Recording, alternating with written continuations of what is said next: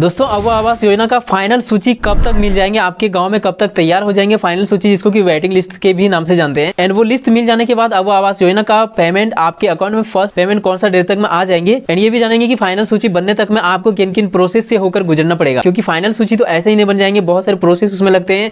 वो सभी प्रोसेस को हम लोग इस वीडियो में जानेंगे। अभी तो हर एक गाँव में वेरिफिकेशन चल रहा है। वेरिफिकेशन का लास्ट डेट कब तक है और वेरिफिकेशन के बाद का जो इंपॉर्टेंट स्टेप होने वाली है, उस स्टेप में आपको क्या ध्यान रखना चाहिए? हेलो मैं हूँ आपका भाई Kishore. Welcome to Kishore detail दोस्तों चैनल पर पहली बार है तो प्लीज़ सब्सक्राइब कर लीजिए बेल आइकन को प्रेस कर नोटिफिकेशन ऑन कर लिए ताकि सरकारी स्कीम से रिलेटेड हर एक सही इन्फॉर्मेशन आप तक सबसे पहले पहुँच सके। तो चलिए देर न करते हुए वीडियो को स्टार्ट करते हैं। दोस्तों, सबसे पहले मैं आपको बता दूँ, अभी हर एक गाँव में वेरिफिकेशन चल रही है। वेरिफिकेशन के बाद का जो प्रोसेस होने वाली है, वो होगा ग्राम सभा। तो दोस्तों, ग्राम सभा भी शुरू हो चुकी है। हर एक गाँव में ग्राम सभा होना है, हर एक गाँव में, और गाँव में ही ग्राम सभा होगी। और ये ग्राम सभा का डेट क्या है, वो भी आप जान लीजिए, चौबीस दिसंबर दो से लेकर चार जनवरी दो हज़ार चौबीस के बीच में ग्राम सभा होना है। ग्राम सभा शुरू हो चुकी है, आपको अलर्ट हो जाना है, ग्राम सभा में क्या क्या चीज़ें होंगी क्या क्या चीज़ें आपको देखने को मिलेगा, वो भी मैं सबसे पहले आपको बता दूँ। सबसे पहले वेरिफिकेशन हो रही है। वेरिफिकेशन में कुछ एंट्री हो रहा है ऑनलाइन फॉर्म फिलअप हो रहा है उनके मोबाइल से। उसके बाद एक सूची मिलेंगे। वो फाइनल सूची नहीं होगा। एक सूची तो अभी मिल गया है। पंचायत सचिव के पास यदि आप अभी तक नहीं देखें तो जाके देख सकते हैं। एंड एक सूची और आएगी, जो कि आपको ग्राम सभा के माध्यम से देखने को मिलेगा। ग्राम सभा में एक सूची बनेगी, जो कि, जिसको कि हम लोग ग्राम सभा के द्वारा पारित सूची के नाम से जानेंगे, वो वेटिंग लिस्ट नहीं है। आप लोग इस भ्रम में मत रहिए कि ग्राम सभा में जो सूची बनेगी, वो वेटिंग लिस्ट हो जाएगा। नहीं होगा वो वेटिंग लिस्ट वेटिंग लिस्ट तब तक तैयार नहीं होगा जब तक लाभुकों से प्राप्त आपत्ति पर कोई निराकरण नहीं हो जाती है। यानी कि कोई भी त्रुटि यदि आपको उसमें नज़र आ रहा है, ग्राम सभा में जो सूची बनेगी, ग्राम सभा के द्वारा जो पारित सूची बनेगी, उस सूची को आप लोग देखेंगे वेरीफाई करेंगे। क्या आपको जो ग्राम सभा में जो सूची दिया जा रहा है, जो दिखाया जा रहा है, क्या वो सूची हंड्रेड पारदर्शी के आधार पर बनाया गया है? यानी कि कोई भी ऐसा लाभुक तो नहीं है उसमें जिनको की आवास योजना का लाभ नहीं मिलना चाहिए और उनको मिल रहा है। और आप आवास योजना का लाभ लेने के हंड्रेड हकदार है और उस सूची में आपका नाम नहीं है। ऐसा कुछ यदि देखने को मिलता है तो वैसे स्थिति में आपको शिकायत करने का मौका दिया जाएगा और शिकायत का निराकरण होगा। और निराकरण करने के बाद जो फाइनल सूची बनेगी, वो फाइनल सूची कब तक आएगा, वो मैं सबसे पहले आपको बता दूँ। वो जो फाइनल सूची बनेगी, ग्राम सभा चार जनवरी 2024 के अंदर ही कंप्लीट हो जाएगा। उसके बाद 18 जनवरी 2024 तक ग्राम सभा में होने वाली शिकायत या फिर ग्राम सभा के बाद होने वाली शिकायत का निराकरण किया जाएगा। 18 जनवरी 2024 तक निराकरण कंप्लीट हो जाएगा। उसके बाद 20 जनवरी 2024 तक में एक सूची आ जाएगी आपके सामने।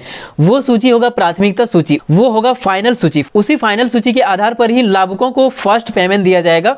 तो उस सूची में यदि आपका नाम हो जाता है तो आप 100 परसेंट कन्फर्म हो सकते हैं कि अब आपको अब आवास योजना का लाभ ज़रूर मिलेंगे। अब आवास योजना से नाम कटने का कोई चांस उसके बाद आपका नहीं बनने वाला है, यदि आप 100 परसेंट योग्य लाभुक हैं तो। एंड उस प्रतीक्षा सूची के अंतर्गत यदि आपका नाम आ जाता है, जो कि बीस जनवरी दो हज़ार चौबीस तक में आपको मिल जाएँगे उस सूची में यदि आपका नाम आ जाता है तो वहाँ से आपका पेमेंट का प्रोसेस शुरू हो जाएगा। उसके बाद आपका होगा एग्रीमेंट आपसे कुछ डॉक्यूमेंट्स जो कि आवेदन करते समय जो भी डॉक्यूमेंट्स आपने दिए हुए हैं, वो डॉक्यूमेंट शायद आपसे दोबारा लिए जाएँगे। एंड उसके बाद एक एग्रीमेंट कराया जाएगा आपसे कि आप अब आवास योजना का लाभ लेने के हकदार हंड्रेड परसेंट बन चुके हैं। अब आपको आपके अकाउंट में पैसे दिया जाएगा एंड आपको एग्रीमेंट करना होगा कि समय जो निर्धारित की जाएगी, उसी समय सीमा के अंदर में आपको अब आवास योजना को बना के कंप्लीट करना है, क्योंकि पेमेंट का प्रोसेस अब शुरू होने ही वाली है। एंड उसके बाद आपके अकाउंट में फ़र्स्ट पेमेंट मिलना शुरू हो जाएगा। एंड चार स्टेप में आपको टोटल पेमेंट मिल जाएँगे। एंड फ़र्स्ट पेमेंट मिलने से पहले आपको कुछ चीज़ों की तैयारी करना होगा। आपके अकाउंट में डीबीटी लिंक होना चाहिए। यदि डीबीटी आपके अकाउंट में लिंक नहीं है तो आप पहले समझ जाइए, आपके पास अभी टाइम है। डीबीटी को लिंक करा दीजिए। डीबीटी को कैसे लिंक कराना है, आपके अकाउंट से कैसे आधार सीडिंग कराना है इससे रिलेटेड में कंप्लीट वीडियो कल के डेट में लेके आने वाला हूँ। तो इस वीडियो को जाके देख सकते हैं एंड समझ सकते हैं कि कैसे आपको आधार सीडिंग कराना है आपके अकाउंट में।